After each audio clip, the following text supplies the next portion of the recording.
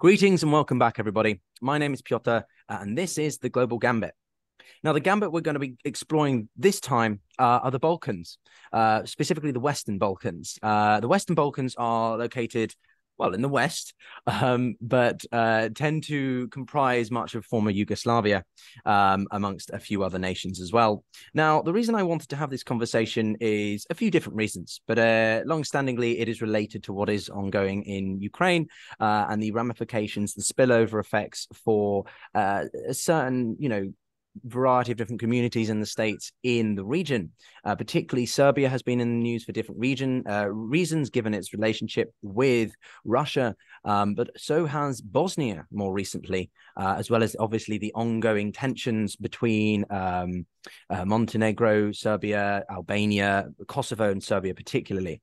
Uh, joining me to have the uh, very wide-ranging and comprehensive conversation are a few um, absolutely stellar, I think, professors. No, another really way to put it. Uh, first off, we have um, uh, Professor Dan Serwer, uh, who's been uh, researching at Johns Hopkins SAIS for a long time. he's a former State Department special envoy, uh, and we actually had him on the podcast before, uh, before the delightful technical gods decided to get in the way and prevent me from actually uploading that episode. But Professor, it's great to have you back. Um, Professor Edward Joseph, who is a foreign foreign policy analyst with ooh, 15 years of field experience in the Balkans, Iraq, Afghanistan, uh, and he was actually uh, targeted by the Serbian government uh, relatively recently, uh, which I will be uh, posting in the uh, in the links above. Um, a tweet where he was being defended. Um, uh, by some colleagues as well, given the tense relations between Pristina, the capital of Kosovo, uh, and Belgrade, the capital of Serbia. And then, very last, uh, we have, but not least, certainly, we have Professor Vukovic, who is the director of global policy um, or the MAGP program at SAIS. He's also senior lecturer of conflict management. It was a bit of a last minute. He, he was like, "Oh, I'm interested to join," and I'm delighted that he was able to. So, uh, thank you all very much, professors, for joining me. Um, I'm definitely going to lose track of who's who and who's just spoken at some point, but none the, nevertheless nevertheless, we shall persevere.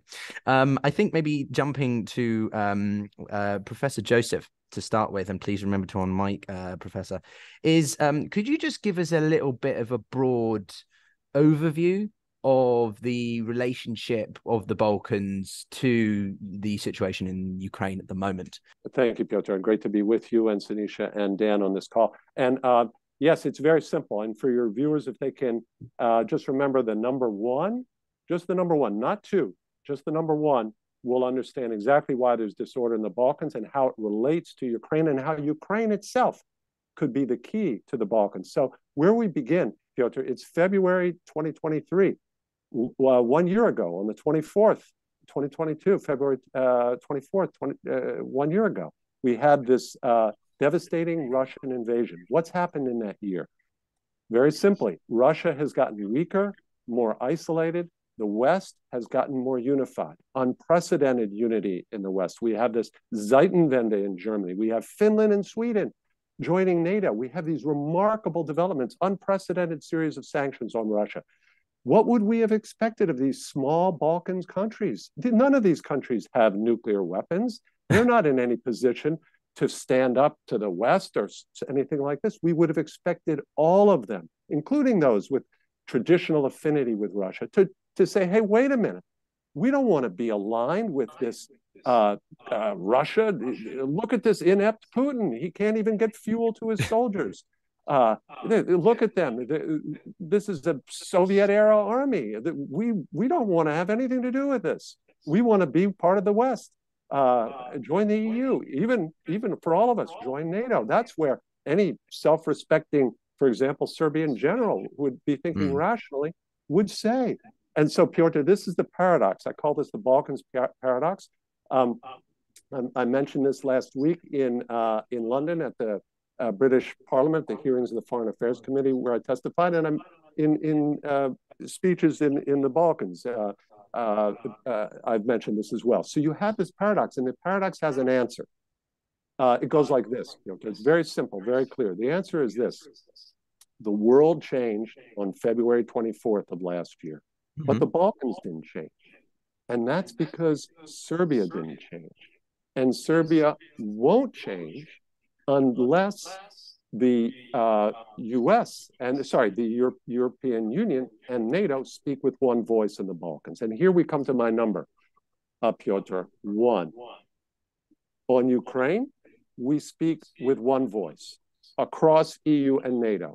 Uh, you can argue, we can say there's some divisions, but it's not really terribly meaningful. Even Hungary, they've all backed uh, the, the basic position on Ukrainian sovereignty and territorial integrity. But unfortunately, Pyotr, the uh, European Union and NATO do not speak with one voice on the Balkans in a very fundamental way, mm-hmm. the same fundamental way that uh, towards Ukraine. Uh, you could imagine if there was split views about Ukrainian sovereignty. You could imagine how devastating that would be, and that's exactly what we have in the Balkans. We have uh, we speak with two voices in the Balkans. The majority of uh, EU and NATO countries recognize Kosovo as a fully legitimate, independent, and sovereign, keyword, sovereign state, part mm-hmm. of the mm-hmm. European order. But five EU countries, four of which are NATO members, do not. And because they don't, Pyotr, that explains everything in my book.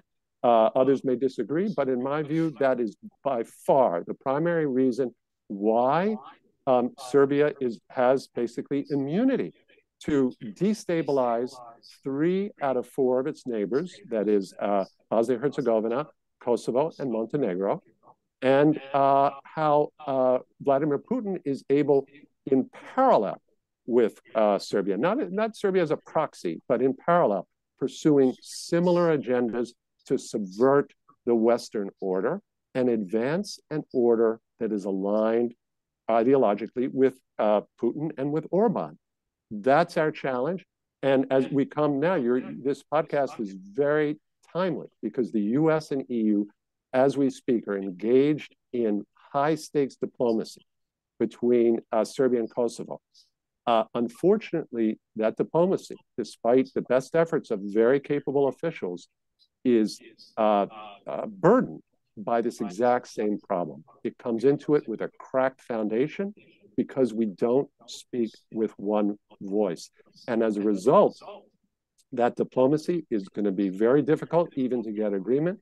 And even if it does get agreement, uh, Pyotr, it could leave Serbia and Russia actually closer, closer, more aligned than they are already. And it could leave um, Belgrade and Moscow in a position to continue to subvert the Western order. And I can obviously. So I'm just gonna, that, yeah, no, I'm going to jump in there because you, I think you've done a good job of providing us with a um a few touching points that I want to go into or touch upon um, in in due course. Uh, the Kosovo relationship to Serbia, particularly, is a one sub theme I want to explore later on, given the tensions we saw over the number plates late last year and and uh, NATO's rather pretty uh, unusual uh, worded response. Um, but Professor Serwer, um, just to remember to on mic on your phone, it's in the bottom left corner of your phone.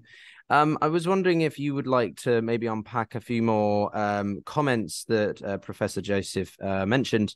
Um, you know, from your angle, we touched upon uh, peace negotiations and what a peace process would look like in the first two months of the war.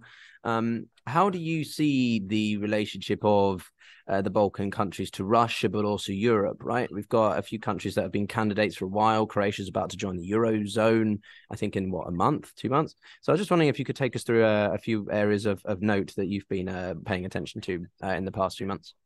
Yes, I agree with Ed on the importance of getting the five non recognizers to recognize Kosovo, but I don't think that's the fundamental problem.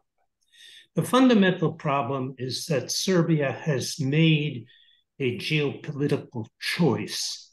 Uh, and it's made a choice in favor of Moscow and Beijing.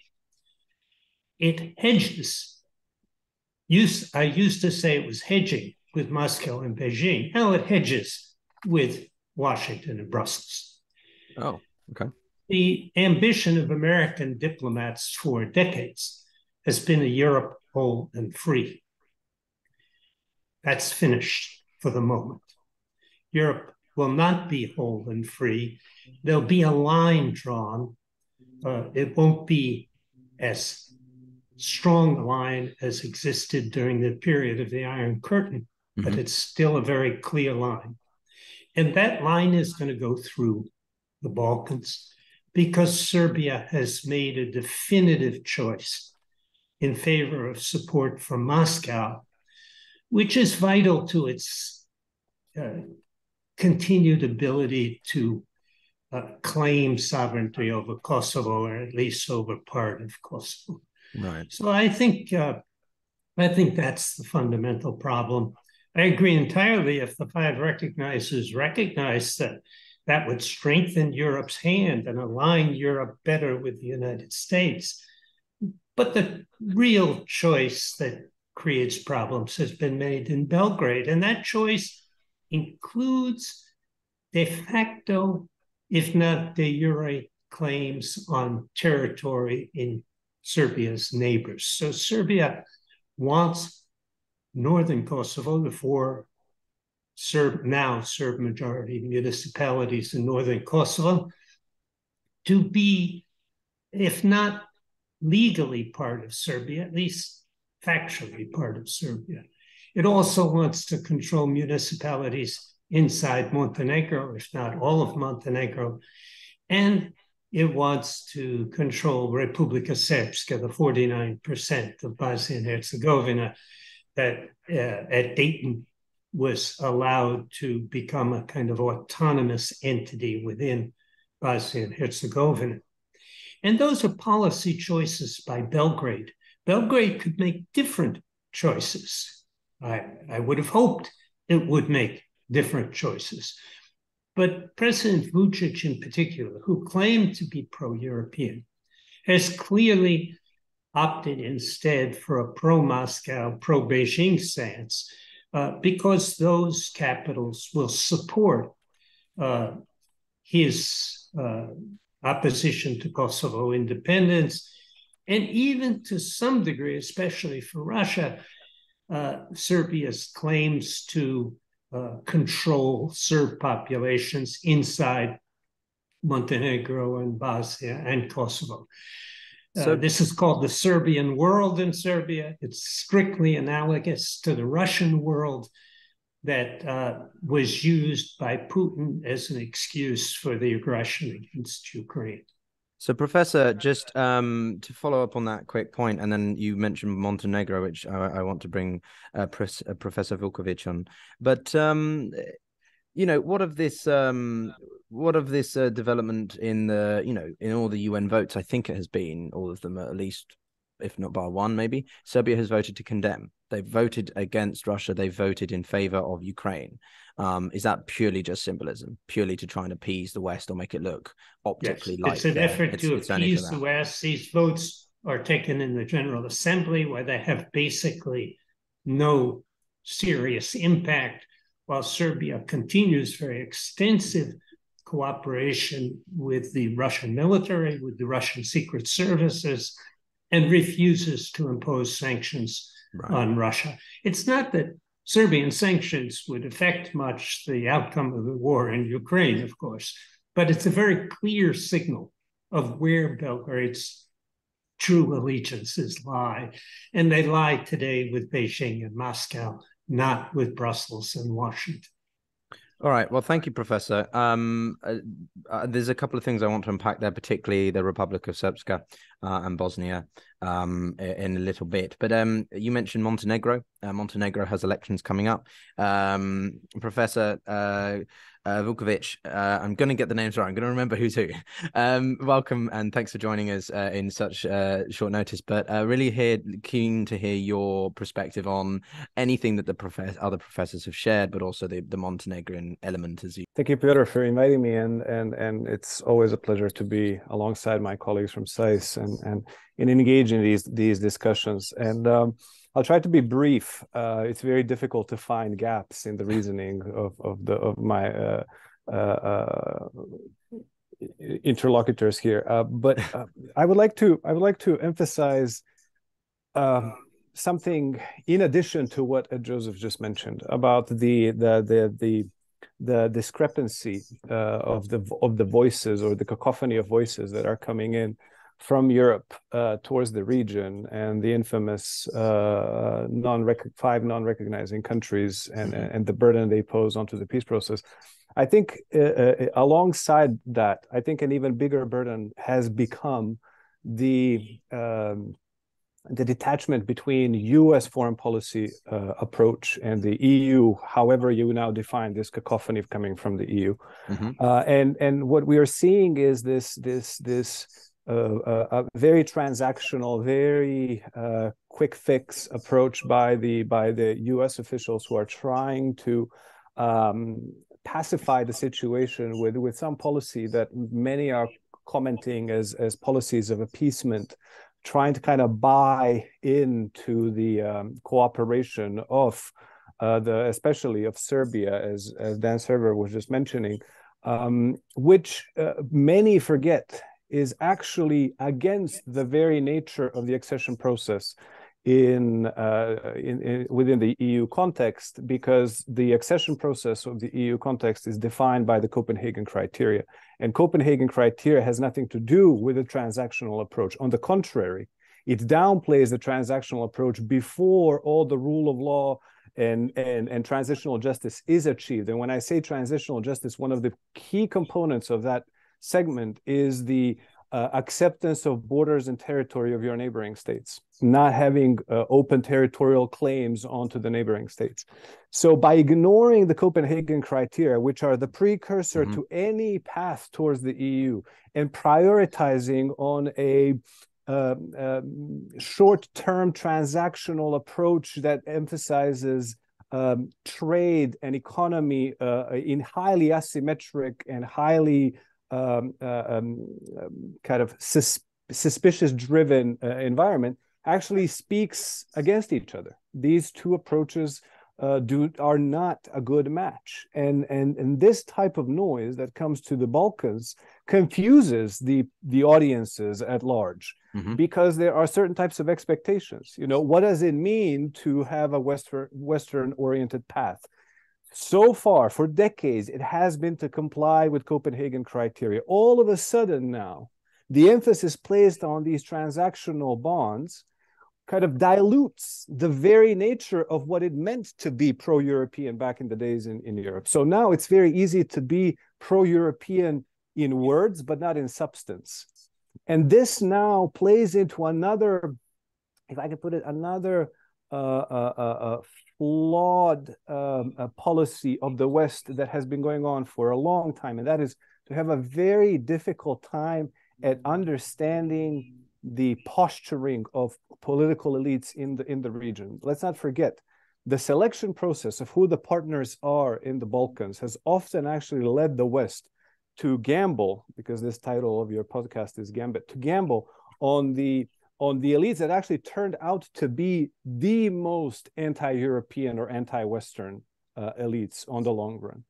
But they nurtured them. So it's it's this uh, it's this systemic failure to truly recognize rhetoric from substance, from form from substance, to understand who really are the reliable partners in the in the in the in the region, and especially in Serbia, if you want. If you if you think about it from that paradigm, uh, the conditions in present day Serbia where the um, uh, where the uh, approval for the uh, for for EU uh, integration has dropped to 30%, which is unprecedented to compare to the rest of the region, mm-hmm. and where there where there is a highly antagonistic rhetoric towards NATO, and a normalization of the idea that NATO should not be seen as a reliable partner um, uh, is an utter failure of the of the of the peace building and reconstruction policies of the West in the region, particularly in Serbia, to nurture those types of political elites that can bring about uh, that process of westernization of that society. So, so this is kind of a, a stockpile, if you want, of, mm-hmm. of poorly designed policies that are now just coming to pay and um, we're seeing them playing out in many of the of the of the scenarios, be it between Serbia and Kosovo, be it within the, the domestic uh, uh, uh, uh, political tug of war in in Bosnia with a high interference from the outside, so a very inst- unstable system, be it in Montenegro, which used to be the the front runner towards uh, in, in, the EU accession and uh, and the most avid uh, contributor to to to the NATO policies in the region, and now becoming the weakest NATO link in the Mediterranean basin, and and actually the the most derailed uh, actor on the EU path. And it all thanks to this kind of experimentation with who the partners are and how the partners should be nurtured and how to recognize what really drives them. Is it uh, opportunism or truly the Western values, et cetera, et cetera? So the Balkans, if I may conclude, remind me a little bit of many other places in the world where the US could not clearly define its strategic goals other than, as Dan Serwer just said, you know, pacified and unified Europe. And similarly, for instance, you had a situation in Sri Lanka in, in 2002 where the US got involved, and I quote the ambassador of the US, no, actually, the Assistant Secretary of State for Asian Affairs. Why is the US there? Because it's easy. because it was approached with such ease, that peace process failed. Dan Serwer took students to Sri Lanka in uh, a few years after the war ended, and um, uh, uh, we see the results of this kind of very laid back and very opportunistic approach to peacemaking. I'm afraid that we are missing a lot of opportunities along the way, and many of the scenarios that were available just a few years ago are no longer available because the context has changed so dramatically because of these poor choices that I just listed. So I, will just leave it at that. Yeah. So um, quite a lot there. Um, well, I mean, I knew this was going to happen. We have three still um, speakers with us uh, after only one broad question. But um, going to Kosovo and Serbia specifically, then, and uh, and Professor uh, Joseph, I'm going to come back to you again. Um, you know, we've seen a lot of tensions around license plates. And this has happened at different times in the past few years. You know, you get these flare ups. I was working in Serbia at the time, to, well, study, I guess. It sounds a bit fancy if I say working, I'm only 29. But um, there was a there was a flare up at the time when I was there. Um, you know, how much is the war uh, changing the the overall ability for these two countries to or entities to to to to you know work to find a viable solution. Um, NATO's response, as I mentioned earlier, was particularly strong. Uh, in the most recent, uh, you know, flare-ups, uh, and I was just wondering if you could unpack a little bit more how you see the relationship, and then we'll go over to Professor Serwer for his thoughts. Thank you, uh, Pyotr, uh, and I, I, will try to do that, and also I think uh, try to bring the, the quite valid points of both uh, Professor Serwer and Professor Vukovic together, where you, you had Professor Serwer saying that this is a strategic choice of Serbia. Uh, that's where he departed about the, the point about the non-recognizers. And you had Professor Vukovic saying, oh, the, the uh, US and EU, they're, they're showing all this weakness and they're getting off Copenhagen criteria and they're choosing the wrong partner. And it's all explained, Pyotr, the same. And the question you ask about license plates, it all comes back to that same point. It all comes back to the fact that we speak with two voices in the Balkans, not one, in, the way we are in Ukraine. It's the same point. And, uh, and here, let me give an illustration for your, for your viewers and, and listeners. So you have um, this weakness that Professor Vukovic was talking about. It, it, it's, you, it has to have an explanation. Um, you know, there was this, let me give it, you know, a vivid picture for your viewers, mm-hmm. something that they can imagine in their minds. There was a parade in Sarajevo just last month by uh, le- uh, organized by the separatist Bosnian Serb leader Milorad Dodik, uh, right in eastern Sarajevo. Basically, uh, uh, it was illegal parade. It was done on this this holiday. It was done exactly to provoke and say uh, essentially the campaign to separate Republika Srpska. This is in Sarajevo the, the, the centerpiece of the, of the US effort to the Dayton Agreement. And at the end, Pyotr, at the end, if you can imagine this, um, they gave an award to Vladimir Putin. Can you imagine? This is this is in Sarajevo. This is uh, uh, it's in a way it's unthinkable that that to get away with this. Now, what was the reaction? This is quite instructive, and this will tell you everything. Same with license plates. The U.S. embassy immediately rebuked Milorad Dodik who's mm-hmm. he's been under U.S. sanctions. He's under British sanctions, obviously to a very limited effect. Why is it of limited effect? I'll give you the answer. Because in attendance was the Serbian foreign minister Ivica Dacic, and also the son of the Serbian president was in attendance. Mm. What rebuke did they get? Guess what? Nothing. Nothing. Senior U.S. officials met with Dacic in Belgrade the next week. Uh, this is why, uh, because it's, it comes back to my point. We speak with two voices. Serbia has the leverage, uh, Pyotr. Serbia owns, effectively, Serbia is an EU and NATO member when it comes to Kosovo. Why? Because these five EU countries, four of which are NATO, what they do, Pyotr, is this is their position. We won't recognize Kosovo until Serbia does. You see, Pyotr, they hand the proxy. They hand the proxy to, to Belgrade. So Belgrade says, well, as long as we don't move, they won't recognize, and Kosovo can't move. And that's our interest. What is the Serbian interest? What is the Russian interest? Perpetuate the status quo, Pyotr keep it a mess. Russia and Serbia do not need a new war. Explain this in the parliament, in British parliament last. They don't. They need to keep this, as a, a Bosnian Serb uh, politician told me himself, keep it on hot coals, keep it stirring, uh, stirring that pot in Montenegro as well, preventing, complicating the, the efforts of the U.S. to advance Montenegro, which should be well on its path to, to joining the EU. Um, that's not in Serbia's interest for Montenegro to join the EU. Why? Same why it's not in Vladimir Putin's interest for Ukraine to join the EU. It messes everything up. Uh, for, if Ukraine joins the EU, Russians will ask, why aren't we in the EU? If Montenegro joins the EU, Serbs will ask, why aren't we in the EU? That's what it all comes down to. And the weakness, uh, Pyotr, let me give you another quick example just to illustrate this for your, for your viewers. It's, this comes on issues not just that are about the Balkans, but issues of great importance to the United States, this war in Ukraine. Do you know last September, uh, President Vucic of Serbia uh, was in, you mentioned the UN General Assembly, he was in New York. He met with Jake Sullivan, who's President Biden's national security mm-hmm. advisor. You can't get much higher than that. He met with him, then he met with Victoria Nuland, very senior official in the State Department. And guess what President Vucic did right after that?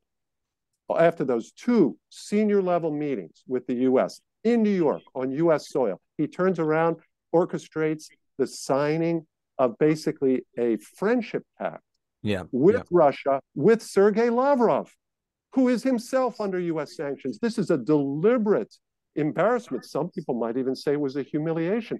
The US ambassador to Belgrade said that this uh, uh, agreement was designed to justify the war in Ukraine. It doesn't get any more brazen than that. Serbia does all sorts of other things. They, they host Russia Today. They host Sputnik Serbia. Do you know? I know this. U.S. officials themselves, I know this, Pyotr, are very concerned that the Wagner Group has uh, uh, opened operations in, in Serbia. It's not a joke. So this is serious stuff. This is stuff that concerns us, and they're getting away with it. So you have to ask yourself, why on earth would the US, most powerful country, tolerate this stuff? Why would they tolerate this being embarrassed in New York uh, by this, uh, an agreement with Lavrov, this parade in Sarajevo? Why would we tolerate this? It's because Serbia has the leverage.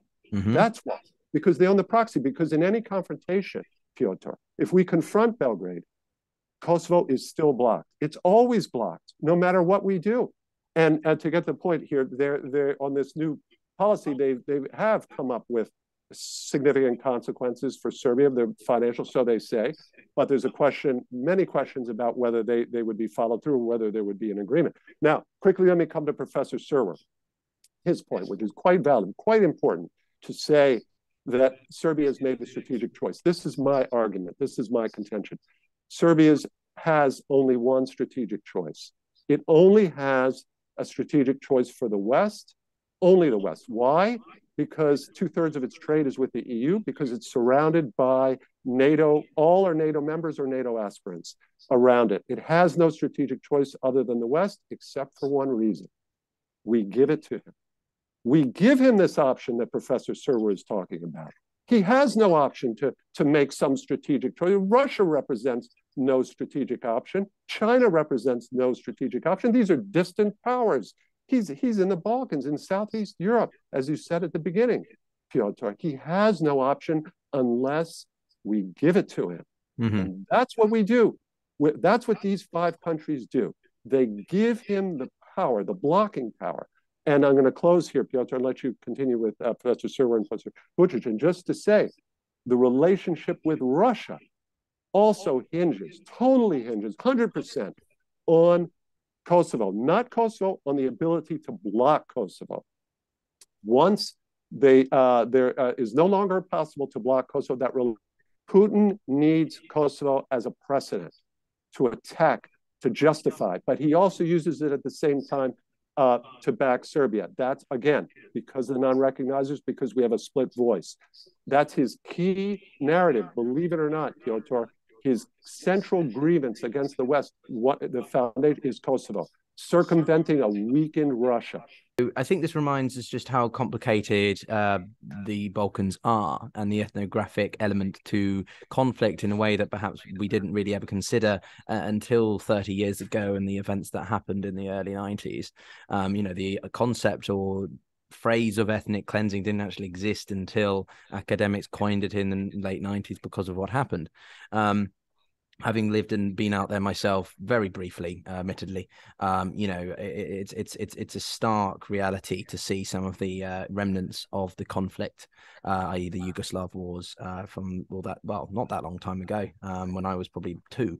So um, it's it's it, you know i think this has a particular place in in the minds and hearts of, of people around the region uh, in terms of what's happening in ukraine. Um, but professor Serwer i would like you to maybe um, unpack or expand a little bit on what Professor Joseph said. Um, if there's anything else you want to add, um, I'm curious for your thoughts on the added element of the Greek um, Turkish uh, tensions over the. I know it's not directly within the region, but still it plays into perhaps the sort of broader strategical thinking of other countries. Um, but yeah, anything you wanted to add to what Professor Joseph said? Well, once again, I, I, I, do think Serbia has strategic choices and it, it, it has made uh, it, it, may not hold forever, but President Vucic has made his choice, and it's the failure of Washington to recognize that that choice has been made and that there is actually nothing we can do to reverse that choice as long as President Vucic is in, is in power. Uh, he has he dominates the internal political situation completely. He has opposition only on his extreme pro Russian right. There is no liberal, democratic, pro EU uh, opposition in Serbia to speak of. I mean, there are, of course, individuals, but there are even political parties, but they have no power at all. They don't have much resonance in the society. Vucic controls the media in Serbia and the media in Serbia are virulently anti NATO, anti American, anti Brussels, and pro Russia and pro China. Uh, that choice has been made. Can it be reversed? I don't think so. I don't think we have the leverage with Serbia required because uh, President Vucic would likely not survive in a Serbia that actually became a serious candidate for EU membership, uh, which entails the rule of law and which would trap him the way my friend Ivo Sanader in Croatia was trapped mm-hmm. by the judiciary there. So I, I just think there's no there there in trying to change Vucic's mind. I do think there's virtue in trying to change the minds of the five non-recognizers. In Greece, as Ed uh, has documented very extensively, is the closest to being prepared uh, to recognize Kosovo. It has extensive relations with Kosovo. It has an ambassador in Pristina, even though they don't call it an embassy. Uh, you know, they're pretty close, I would say. The question is what could push them over uh, the threshold. Unfortunately, the others seem unwilling to move, though I, I, I credit uh, the EU negotiator Lajčák with recently having very publicly tried to convince uh, some of the non-recognizers to recognize that convincing them won't change Serbia's direction. What it will do is to help Kosovo uh, to be more confident of its own uh, sovereignty and territorial integrity. And that right now is very important. Kosovo has a prime minister who has very extensive support in the population.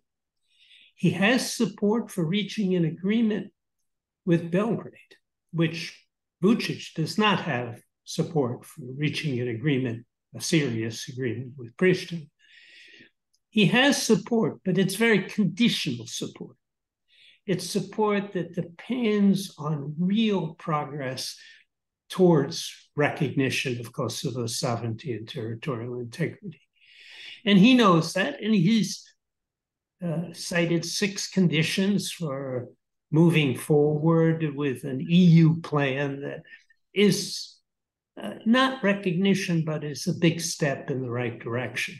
So, the way I see things today the Americans are, American diplomacy today is doing a very ugly thing. it's trying to appease our adversary, Serbia, which has made a strategic choice not for the West, but for the East. And it's trying to strong arm, twist the arm of Kosovo, which is a very pro EU, pro American, pro NATO uh, entity, uh, country. So uh, this is ugly diplomacy. It's the kind of diplomacy we conducted at Dayton in 1995 when we twisted the arm of our of the people we had supported through the Bosnian War, uh, Alija Izetbegovic in particular, twisted his arm to accept that half of his country would be governed not by the capital Sarajevo, but by uh, what became Banja Luka, initially Pale. Mm-hmm. So, uh, you know, twisting the arm of your friends is a lot easier than twisting the arm of your adversary. But it's not pretty diplomacy very interesting analogy. I, I might use that in the future, although I don't know how many friends it will win me around. Um, if I admit I'm approaching the try and twist arm like that. Um, thank you, Professor for uh, Serwer, for your comments. Uh, and I want to remind everyone that this is a conversation in collaboration with Johns Hopkins uh, Foreign Policy Institute. Please do uh, check out some of their work. You can see the profile on the stage run by uh, the lovely Sophia, uh, who's kind enough to have helped set up this um, conversation. Um, Professor um, I want to jump over to you, Professor Vuković, um, because you know uh, there is one element to this that I, I, want to touch upon a little bit, and then I do have a broader question about EU candidacy that I want everyone to have a, a thought on, although we've touched upon a little bit. But specifically uh, on this element of the Republic of Srpska, right? Um, there is this growing notion, I think, amongst certain policymakers, politicians, uh, analysts, whoever it is, that you know we we're in a delicate, time-sensitive situation, namely that uh, because of what's happening in uh, Ukraine, uh, we've seen the emboldenment of pro-Russian or Russian-aligned groups, entities. Think uh, Transnistria in Moldova, but also people within the Republic of Srpska. Um, and there is this pushing notion again of separatism, as the professors have both um, uh, highlighted. Um, and so the EU's, at least one article I read, the sort of the rationale is we've got to incorporate or fast track Bosnia into the EU, maybe not as a full candidate, uh, full country yet, but at least as a deeper integrated candidate country, so that it can be so that the EU, but by being part of the EU, it protects the it protects the potent uh, against the potential of a conflict breaking out based on ethnographic lines again. Um, what's your what's your take on that? Um, you know, do you do would we see something happening elsewhere with other countries around the region, or is just is this just something that's a bit of a slippery slope? Because if you begin to dilute, as you mentioned, the Copenhagen criteria, um, does that threaten the EU project? That's my main concern when it comes to Ukraine, right? Um, Zelensky is doing his shuttle diplomacy to the Brits, to the French, to the Germans, all over the place. Um, and whilst I'm all for Ukraine's independence and sovereignty, I am opposed to them being fast tracked into the EU because of the risks that poses to the European Union. I know some people might not like that, but that's where I firmly stand on this matter. Um, so I do not think Zelensky should be fast tracked into the EU because of the size of the Ukrainian economy, uh, the population, the um, difference of GDP per capita. There is still corruption issues in Ukraine uh, vis-a-vis the rest of Europe. Um, it's not the level that it was, but still. So, Professor Vukovic, what's your take on this? In a, in a bulk. Um, yeah, and, sorry, it's a long-winded way of just saying a very simple fact, point. and I liked, and I appreciate the fact that you've made the parallel with Ukraine automatically when you started with uh, with Republika Srpska, because uh, there are multiple parallels here to be made, and I think one one idea to always keep in mind is that Ukraine can learn from the Western Balkans as much as the Western Balkans can learn from Ukraine. Precisely. But even more importantly, the West can learn from both of them simultaneously and see where the flaws have led either of the two um, uh, areas.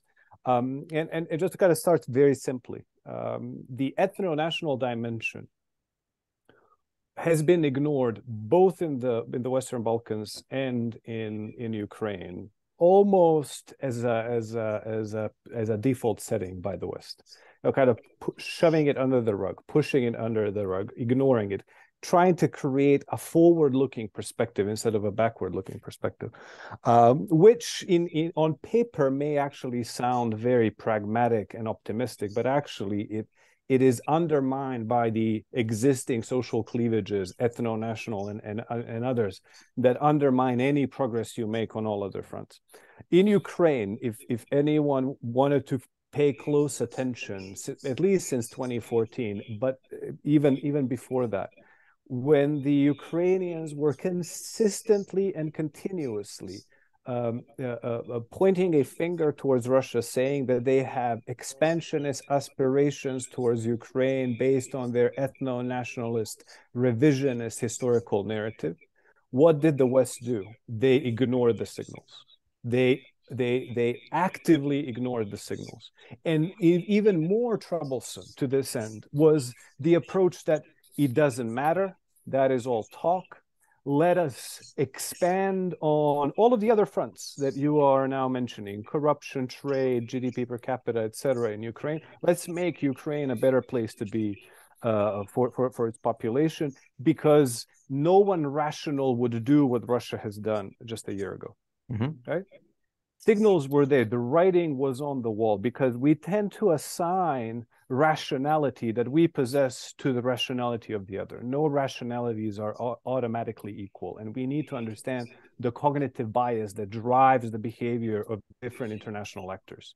So, uh, from that mindset, that, that simplistic mindset, the idea was if we expand on trade, there is this liberal peace mentality that trade brings people together and they kind of reconcile their past differences because of the transactional gains that they obtain um, uh, on on the immediate front from that trade. So my colleague uh, Joseph just mentioned it that Serbia, for instance, doesn't, and, and this is a, this is a very dominant narrative in the West. Serbia does not have an alternative but the West because the West is its largest trading partner if I want to be cynical to that narrative, and I'm not accusing anyone of it, I'm just saying that th- this narrative carries such cracks. If I want to be cynical, who is the largest trading partner of China? Are uh, they getting closer? Are we seeing who was the largest trading partner of Russia prior to the invasion? Was Russia integrating into the EU automatically because of its extensive trade with, with Europe? No trade keeps you stable. It does not deepen your relationships. So the narrative that the e that the, that that Serbia should come to its senses, not just Serbia, and, and I don't want to kind of gang up on Serbia here. This is not just the problem in Serbia. This is the problem in, in region as a whole because we have all of these political elites that try to capitalize on on the on the uh, uh, on the weaknesses and blind spots of the West uh, that uh, you know the narrative is you trade with us so you are like us. It doesn't work. There, this is a question of values. This is a question of principles. This is a question of norms. It has to do with the track record that has been achieved so far. So the the the signals that i just mentioned earlier from ukraine that that, that were indicating that the ethno-national uh, uh, approach and aspirational expansionist attitude of russia should not be ignored, should equally be understood in the Balkans. Trade did not transform Russia. Trade did not transform China. Trade does not transform anyone. That's not the purpose of trade. And, and I know the, the, the, the reflex of, of liberal institutionalism from early 1990s, the, the, the whole end of mm-hmm. history. Our former colleague here, Francis Fukuyama, who said, you know, this is now the, the, the ushering of the new era. We are not, we, we are way past that. We, we have learned the lesson that that's not the way to achieve that. So, so asking difficult questions and addressing those crucial signals is something that needs to be embedded in that narrative of the EU and, and, and the US.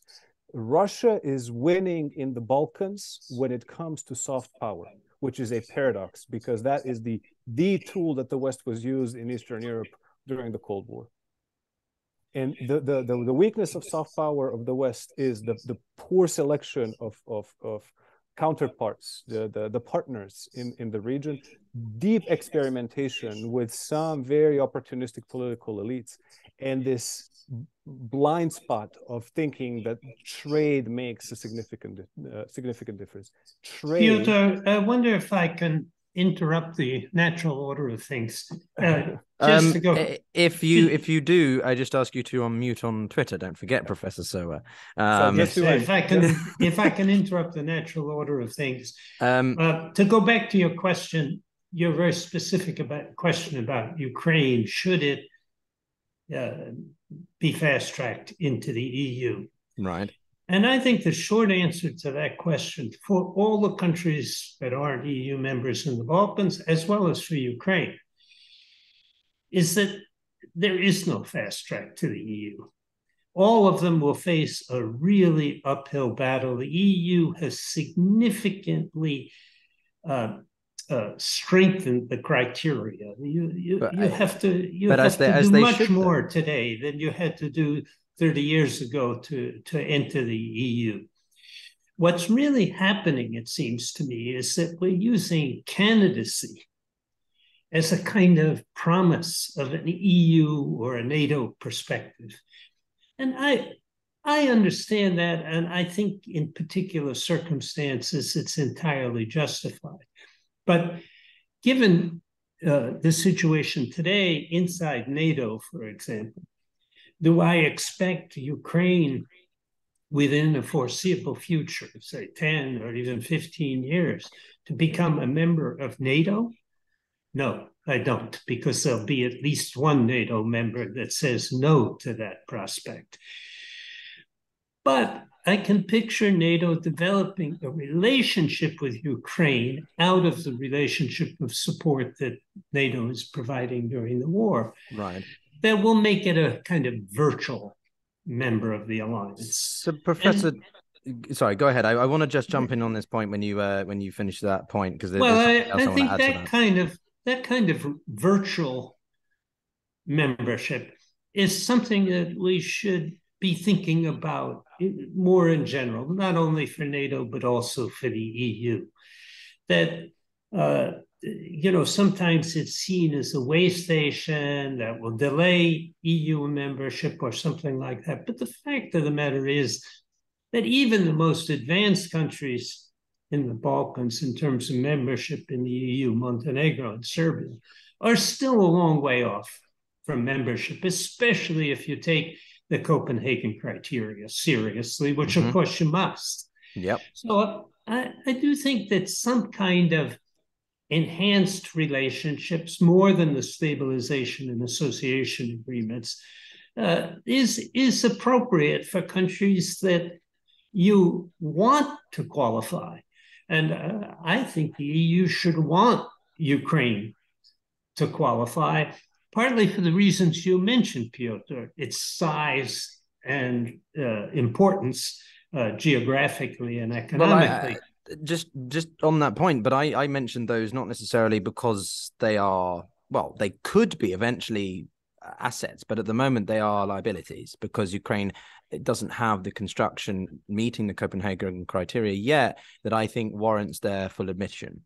Uh, as I say, I'm not against Ukraine joining eventually, um, but uh, just on this point because you're talking about it, it's a it's a cherry, you know, it's a it's a carrot, right? It acts as an attraction for aspiring candidate countries or applicant countries to become candidates, and then you gain access to you mentioned it, the Stabilization Association Program or process, which is um, basically for listeners, it's the uh, process by which that uh, countries acclimatize, uh, align themselves to the basic criteria of the EU. There are obviously different levels of integration, right? Um, we can talk all about this through Brexit as an example of how much we wanted to be integrated or not. Um, but the thing is, um, Professor, just to build on this point, and please, uh, you know, continue with what you were saying as well, but um, isn't it also just a case it, it acts as a bit of a security reassurance as well? Because if you're part of the EU in this candidacy, you begin to receive funding, you could begin to be integrated into eh, very loosely, I guess, but interoperability with sort of intel provision. The EU doesn't have an army, but it does have obviously a defense and foreign policy arm to it. That's what Joseph Borrell's entire focus is. But is it a bit more not just about the uh, symbolic attraction, um, but also the, the the the, shall we say um, provisional policy light, right? It's a it's a it's a Coke light version instead of full integration to NATO. It's just that they they have access to some certain better communications and and, and assets like that. Is it? My short answer is yes, but I see Ed wants to intervene. Thanks. Okay, go ahead, Edward. Thank you, and uh, Piotr. Um, I, I want to come to address this point, and and Siniša, I think, uh, put his finger on on really the the key uh, question there when he spoke about these ethno-national divisions in, in history and uh, uh, and it's a really a poorly understood aspect of this. And Dan, just to quickly mm-hmm. uh, uh answer this question about Ukraine and European Union, uh, my view is uh, quite different. We are um, financing... I thought it. I thought it might be yes. something. To... yes. well, and but I will give you the reason, Piotr, and I hope you'll agree with me on the reason. We are financing Ukraine to the tune of 40 billion US dollars and more. Um, we're not, uh, we're, we're, providing, we've crossed all these thresholds of, of concern, um, Piotr. Uh, even now providing tanks, there's a request you just saw, Zelensky asking for uh, aircraft, which is under consideration. It's not ruled out of hand. Mm-hmm. Um, we're not going to do this, uh, provide all of this to the tune of 40 billion, 50 billion dollars, all of this in order to keep Ukraine in some kind of a gray zone holding zone. It may not, Dan is right, of course you can't fast track it, but uh, the, the, days of um, gray zones and holding patterns, those are gone. Um, uh, again, this is you, before February uh, 24th of last year, perhaps. We're in a new era now. This you better tell Swedes the This is a, let, let, me just finish. There's, this is a geopolitical struggle. Uh, we're, we're not, this is not kidding around with, with $40 billion and so forth to just then uh, say, oh, well, you, and by the way, you get a consolation prize. Uh, it's uh, This is a, a, commitment, it's strategic commitment. People are talking about Ukraine, part of NATO. This is inevitably where it goes. Uh, we don't know what the final settlement will be, but um, that's, you don't commit 40 billion, give tanks, uh, do all of this training, and then say, and by the way, you get a consolation prize. This is, this is, we're, we're in this, this is a serious uh, struggle. This is recognition of the strategic impact that it has on the United States and every country I, in the I EU and NATO. Let, let, me just finish. I just I want ask to you to reflect, to, I, reflect I want to on the hang on, hang on. I know, I know, Dan. Let, I know it will take a long time, and Dan is right. Okay. Dan is absolutely right that you, you know, there's no such thing as a fast track. He's absolutely right about that. But what my point is that we're not going with some. Uh, you don't go 40 billion and then a holding zone. This is that's just uh, not on. Um, let me quickly come to this because Siniša put his finger on really an essential point. What he said, you know, uh, everyone is is burying this uh, uh, these ethno-national uh, divisions and and uh, uh, arguments about history, and he's absolutely right. We come back, Piotr, why we're paying forty billion, why we're doing all this, and why we're so stuck in the Balkans because it, it comes back one order. The the way we have a way to address exactly those issues that uh, that uh, Siniša is talking about, and they exist, uh, Piotr. They exist all over Europe. This is the point. Mm-hmm. They exist in Ukraine. Crimea. Whose is Crimea? Who is this? Russian speakers, whose history? They exist in the Balkans. The Balkans are famous for this, but not only across Europe, Spain, you have Catalonia, you have Scotland, you have very, these divisions. We have one way of dealing with these, Piotr, the democratic way. We deal with these in uh, along our values. We discuss these issues. We, we make compromises. We, we, we negotiate and broker agreements like that between Greece and North Macedonia, which is a stable agreement. We have models of dealing with this. That's if we go along our order. That's our order. The Putin order is raw power, subversion, and ethno-national division. And that's what Serbia is doing. And what I'm telling you is here, Piotr, this is all subsidized, enabled, empowered by these five countries. Because what do they do? This is the key point I made in London at the hearing. Is everyone thinks, and Dan pointed this out, that Kosovo's blocked, Kosovo's blocked. And that's a big problem. Dan is right. It's a big problem for us that Kosovo's blocked. But what are they doing at the same time? They deny Kosovo, but they affirm the Serbian narrative. They affirm Serbia's sovereignty. What does that mean? You, it means you affirm Serbia's narrative. Exactly, Siniša. Serbia is a victim. You, you affirm Serbia is um, entitled to, quote, compensation, which is, as Dan suggested, in the form of territory. These are Putin solutions. The Russian ambassador to Serbia just spoke about these, making these linkages. Again, they want to do basically a trade of Crimea, ultimately, Crimea for Kosovo. We'll trade mm-hmm. you at the UN. Putin still wants to do this. There Remember, one order. We cannot, we're not anymore in a position to tolerate gray zones. We have our order, not the Putin order. And so what the, the way this works, Piotr, to make it so clear for your audience, the way this works is these five non-recognizers, four really, the, the main ones are in NATO. That's Greece, uh, Romania, Slovakia, Spain. What they're doing, if whether uh, it, intentionally or not, and in some ways it's kind of intentional, is they back Serbia's sovereignty claim. They say, You're right, Serbia. Your sovereignty was violated by this. And Serbia, in turn, says, Yes, our, our sovereignty was violated. And how do they speak? Uh, Siniša talked about this. How do they speak about the history, Piotr? What do they talk about? You know when history begins for President Vucic and for most Serbs? It begins in 1999 on Kosovo when, when they, we were bombed we were bombed and we're victims. What do they not talk about? 1989, when Serbia unilaterally pushed through in, in former Yugoslavia before the fall of the Berlin Wall. The Soviet Union was still intact. An aggressive bid to dominate Kosovo and to dominate Yugoslavia. That's what they did. They took away the autonomy of Kosovo unilaterally, instituted 10 years of repression. And this is what, and, and, and we know the rest of the facts uh, uh, the, those mean, terrible Kosovo uh, Albanians, weren't they terrible?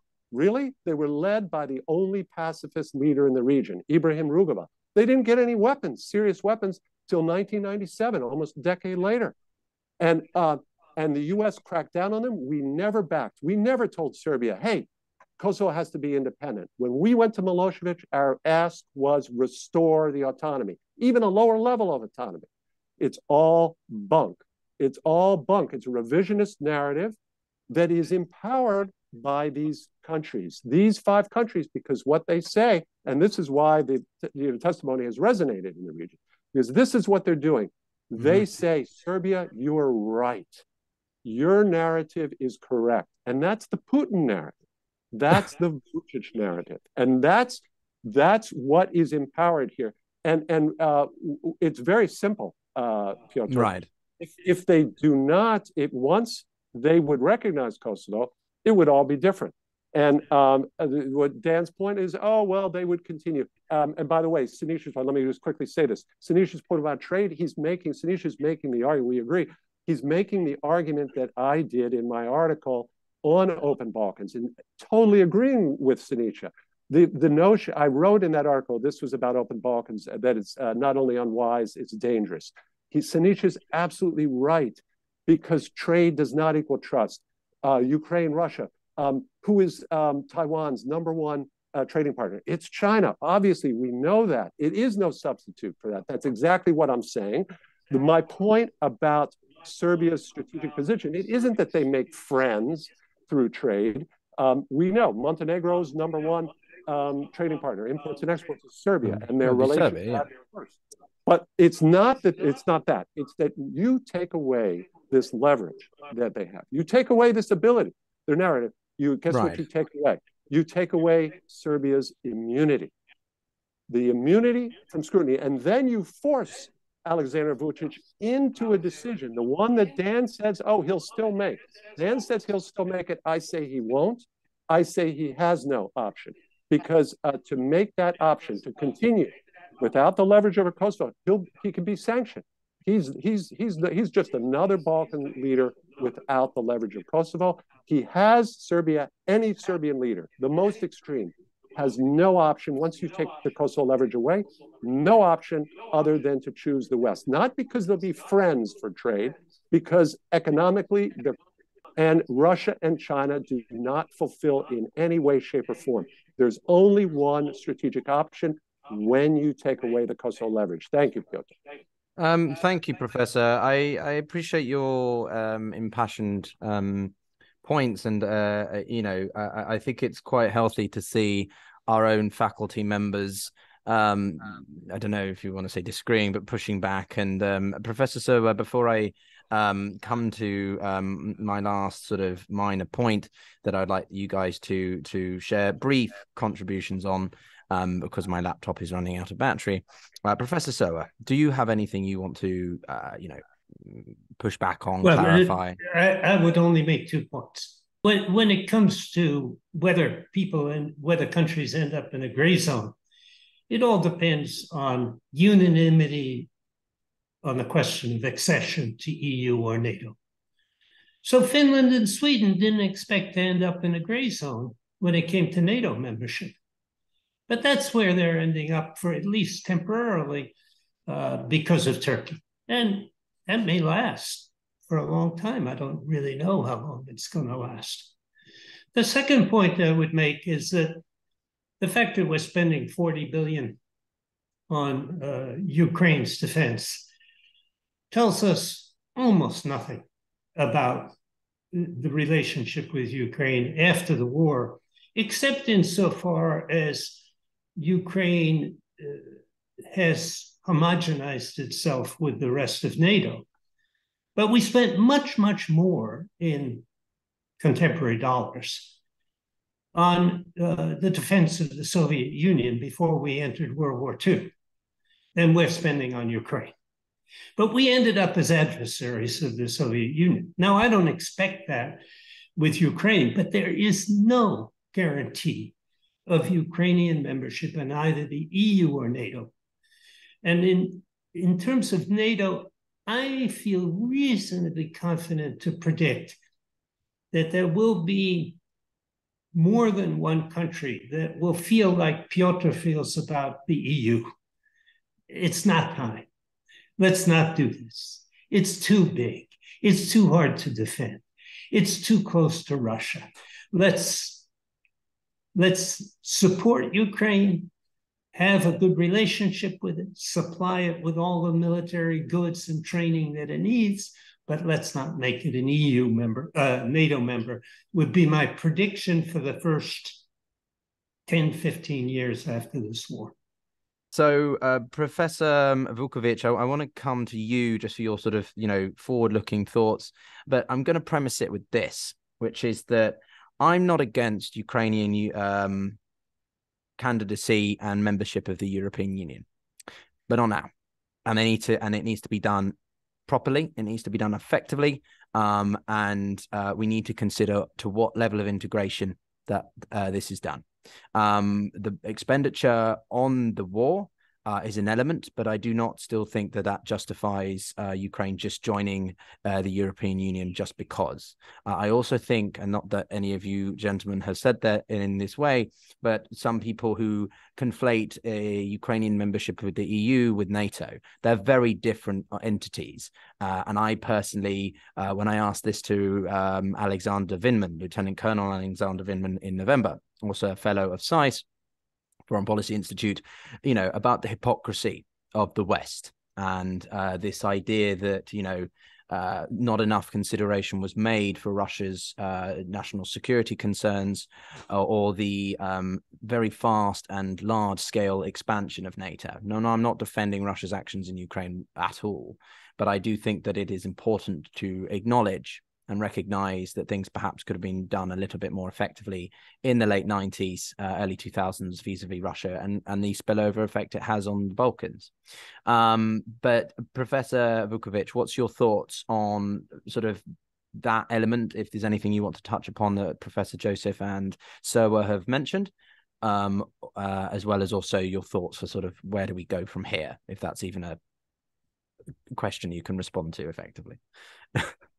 I will try, and and and I appreciate the, the, the challenging nature of the questions and the broad scope that they're trying to to achieve. Um, uh, the forward-looking perspective um, may come in different shapes and forms, and again, it, it all depends on the lenses we want to use. So let me use the pessimistic lens, um, and and not the pessimistic lens for the sake of of uh, trying to find a negative outcome, but for the sake of not learning from experience and that, that's that's the that's the warning that one needs to always go back to uh, when it comes to the unfolding events in Ukraine.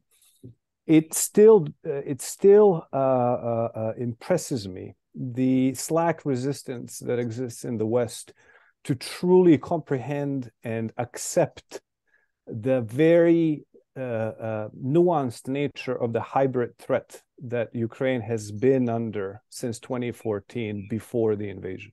Mm-hmm. Um, I do not think that even with all of the expenditure that we have been discussing so far and all of the uh, uh, uh, contemplation about the prospect of, of, Ukraine joining NATO or the EU and or the EU um, has been included in that calculus. The calculus is void of this understanding what has Ukraine been uh, experiencing that precipitated into something that the intelligence services of the US clearly indicated as in, inevitable, while the policymakers were trying to uh, uh, placate the situation by saying, well, you know, we still haven't crossed the Rubicon up until the 24th of February last year, right? So there, there was that that level of of intentional um, uh, uh ignoring of the writing on the wall.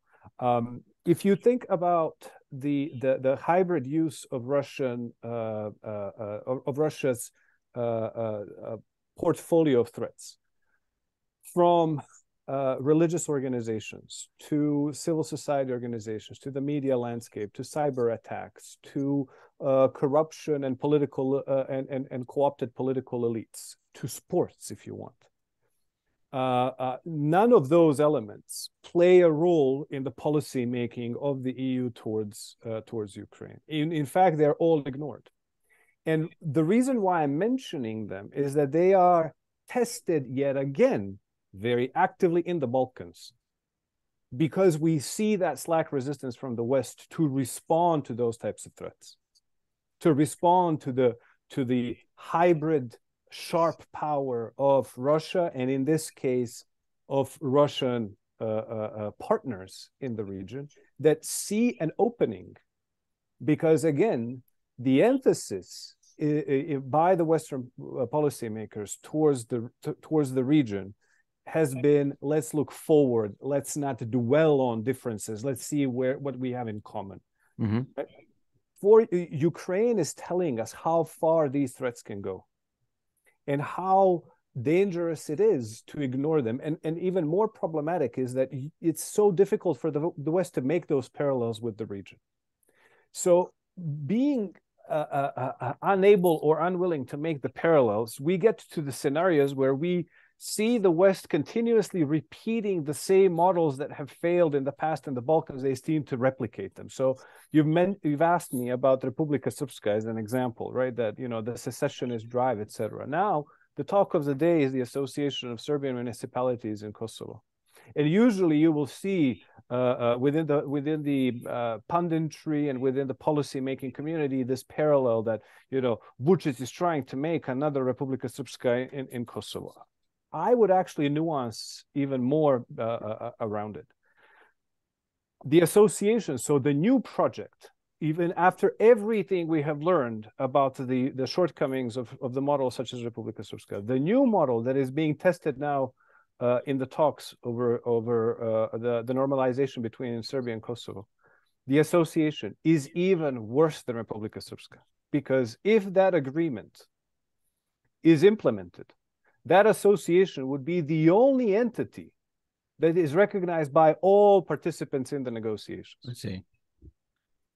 Serbia would recognize an entity within Kosovo, although it doesn't recognize Kosovo.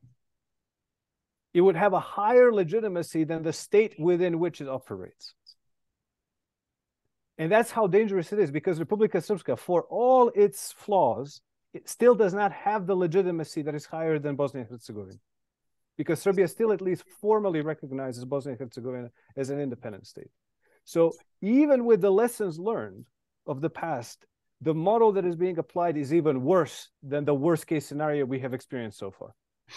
And that's what I'm trying to warn about the forward looking in Ukraine is that with all of the writing on the wall that led to the invasion into in, in, in 2022 we are yet, we are yet to see anyone in the west to seriously address all of the hybrid sharp power threats coming from russia and coming from uh, uh, russian partners in the region that use the same template and even the same playbook uh, in in in in managing the complexities of their own region and, and near abroad.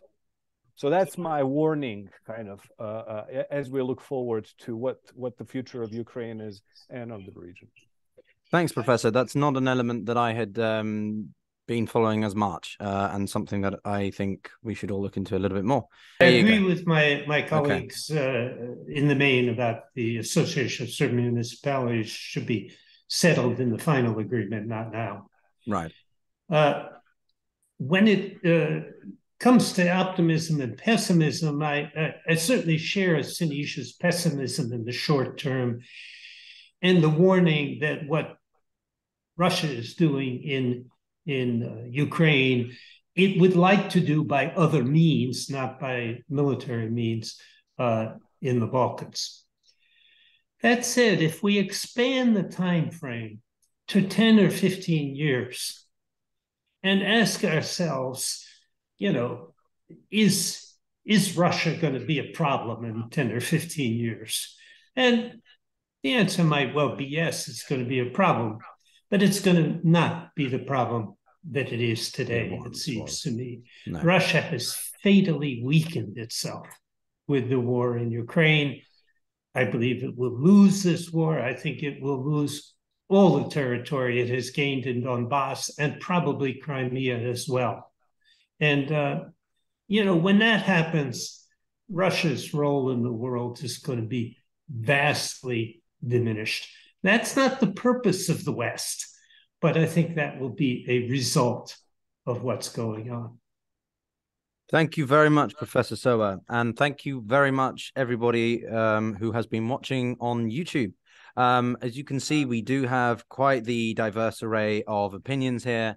Uh, a couple of takeaways for me is just how um, divided we can see the Balkans still 30 years on, even within their own, um, so we say, respective challenges, let alone um, from exogenous ones that are exacerbating the existing challenges.